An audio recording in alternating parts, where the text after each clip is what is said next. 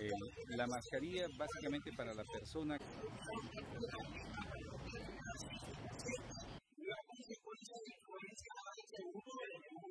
Pero no, o sea, él, él, ha confirmado el fallecimiento más no el diagnóstico, porque no tenía el diagnóstico y no tenemos todavía el diagnóstico a la mano. O sea, el diagnóstico para descartar que corresponda a influenza. Entonces, no habiendo eso, no se confirmó. Obviamente que no se confirmó. Lo que sí efectivamente se confirmó es que había una persona fallecida por algún problema respiratorio.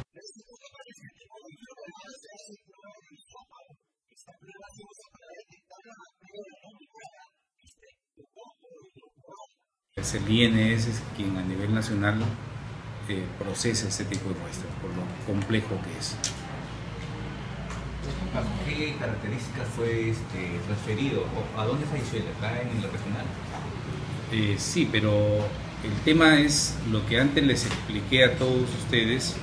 O sea, nosotros tenemos un grupo de personas con síntomas respiratorios. Eh, cuando uno habla de cuadro clínico, no significa que uno siempre como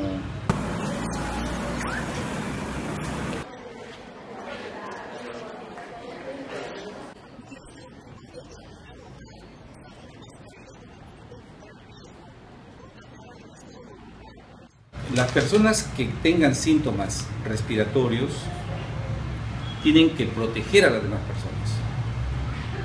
Entonces la forma de proteger a las demás personas es muy simple y barata, porque basta una, una mascarilla de 50 céntimos para poder proteger a las demás personas. La mascarilla básicamente para la persona que tiene síntomas compatibles